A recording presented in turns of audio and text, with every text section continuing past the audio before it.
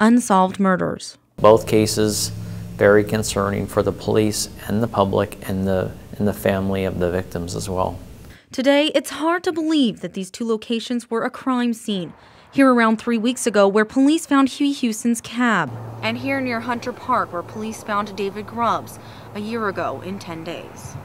It's at Hunter Park that I find Michael Grubbs, David's father. Not a moment goes by I don't think about him.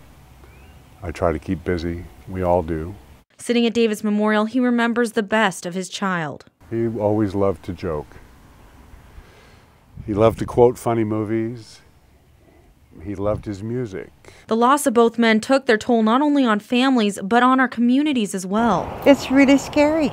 Even in the last year, there's more crime than I've ever seen in Medford. Both cases are still considered active, and in relation to Houston's homicide, police say they believe there are still witnesses who have not yet come forward. I think it, it concerns them to be a possible witness in such a serious case, but what should be more important is, is getting this killer off the street.